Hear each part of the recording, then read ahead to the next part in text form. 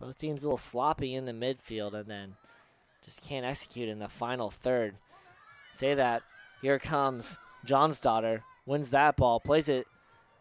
Deflected out. There's the shot, and there's a goal for the Eagles. Number two, Saba Amiri gets the goal. And it's now 1 0 Embry Riddle.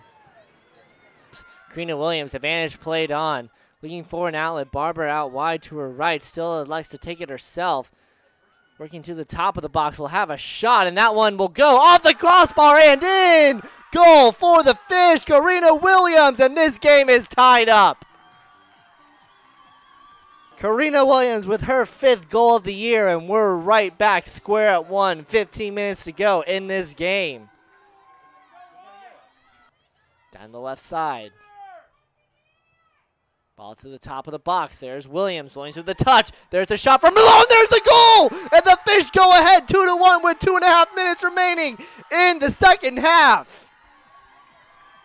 Rulo missed her entire sophomore season with an injury, comes back, and now has scored four goals and tallied three assists in her redshirt sophomore campaign.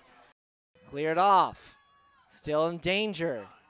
And then there's the boot, and that will do it. The Sailfish come back from 1 0 down and score two goals in the second half. Your final score tonight Sailfish 2, Eagles 1.